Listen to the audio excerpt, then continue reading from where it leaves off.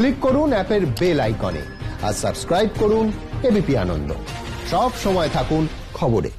রবীন্দ্র সরোবর, সুভাষ সরোবরে এবার ছট পুজো নিষিদ্ধ। যদিও এ বিষয়ে সুপ্রিম কোর্টের নির্দেশই চূড়ান্ত হবে, ছট পুজোয় করা যাবে না কোনো রকম শোভাযাত্রা। পরিবারের দুজনের বেশি জলাশয়ে যেতে পারবেন না, ছোট খোলা গাড়িতে জলাশয়ে আসা যেতে পারে।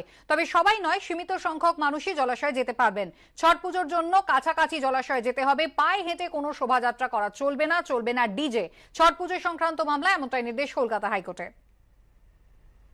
গাড়ি করে আসতে হবে। কোনো প্রসেশন বড় প্রসেশন করা যাবে না। মিউজিক চালিয়ে যে প্রসেশনগুলো হয়, সেটা ছোট করতে হবে। এবং প্রয়োজনে সেখানে ওয়ান ফর্টি ফোর স্টেট লাগু করতে পারবেন। যে কোনো মুহূর্তে স্টেটের কাছে এই ক্ষমতা আছে। এবং মাত্র দুজন ব্যক্তি যাতে ওই গাড়ি থেকে নদী পর্যন্ত যাওয়া, সেটা দুজন যেতে পারবেন।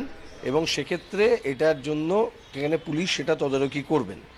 এবং যারা যাতে এগুলো যেতে দুজন ব্যক্তি নদীতে যান এবং গাড়ির মধ্যে যারা থাকবেন, ছোট গাড়ি হোক, বড় গাড়ি হোক, সেখানে যাতে এই ডিস্টেন্সিং নর্মস ফলো করা হচ্ছে কিনা সেটা দেখবার জন্য একটা প্রপার সেট তৈরি করে পুলিশকে সেখানে কাজ করতে হবে মাস্ক স্যানিটাইজার এগুলো নিয়ে।